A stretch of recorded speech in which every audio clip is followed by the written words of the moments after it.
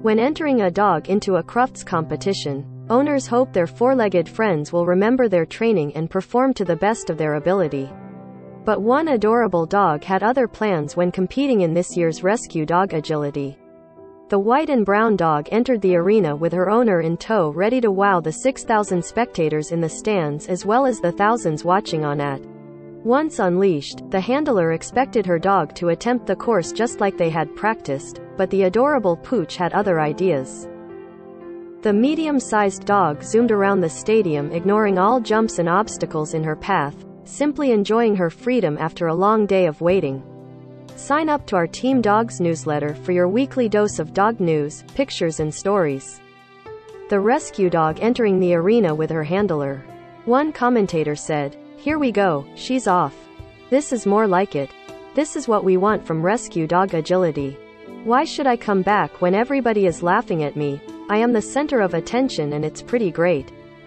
Speaking the dog's mind, another commentator added, I am just going to enjoy this arena. This is my time to shine, a few laps. I see this lovely big space and that means I can have a good old run around. She just wanted to zoom around. Most read. Russian warplane fires on Putin's ally country Belarus, Ukraine says. Prince Harry won't attend Philip Memorial over security fears but wants to see Queen soon. Man defeated after unknowingly scoffing Cadbury cream egg worth up to £10,000. Representing Happily Ever After Dog Rescue, the dog has quickly become a fan favorite, with people commenting on how adorable she is.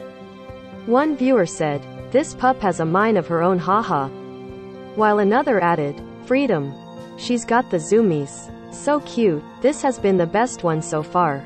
A third user said, So cute. She's like I'll do what I want. When the competition ends on Sunday, Crufts will have been broadcasting for a record-breaking 16 hours across the UK on Channel 4 and More 4. The rescue dog has become a fan favorite. Don't miss. Russian warplane fires on Putin's ally country Belarus, Ukraine says. Couple with 31 dogs left devastated after being forced out their home. Prince Harry won't attend Philip Memorial over security fears but wants to see Queen soon. Inside the luxury life of Putin's secret girlfriend as Ukraine goes through hell. The celebrations officially kicked off at the launch on March 8, with Paralympics presenter, Sophie Morgan, announced as the new face of Crufts. Sophie said, I am so happy Crufts is back. Every dog has its day at this amazing event and these three breeds making history are among them. Almost all breeds will be represented at this year's four-day event, including the smooth-faced Pyrenean sheepdog who will be competing for the best in show title at Crufts for the first time ever. A Crufts statement reads, Organized by the Kennel Club, the show celebrates every aspect of the role that dogs play in our lives. Crufts has changed in ways that couldn't possibly have been imagined when the show was set up in Victorian times by the late Charles Cruft. Although it was a very different event in 1891, Charles Cruft was a great showman and would surely have enjoyed the size and scope of the event today.